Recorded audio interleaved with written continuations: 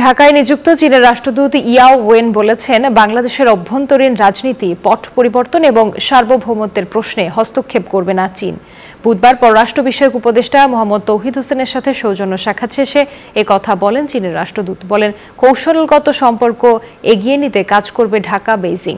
অন্য দেশের অভ্যন্তরীণ বিষয়ে হস্তক্ষেপ না করার নীতি কঠোরভাবে অনুসরণ করে চীন চীন বলেও জানান তিনি।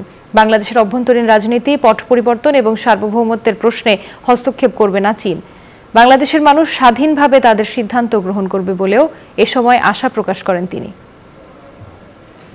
We had in-depth exchanges on developing our comprehensive strategic cooperative partnership, promoting exchanges and cooperation in various areas, and jointly celebrating the 50th anniversary of the establishment of direct ties between China and Bangladesh next year. নতুন expel এর নতুন formula RPM ডের dual অ্যাকশনে ঘরের মশা বাঁচবে না বাইরের মশা আসবে না